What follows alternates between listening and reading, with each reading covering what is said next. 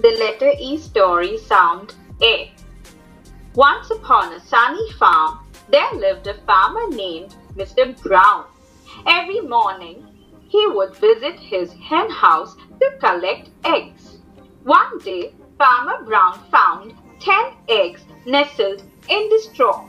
Oh, how wonderful! he exclaimed with glee. I will take these eggs to the market.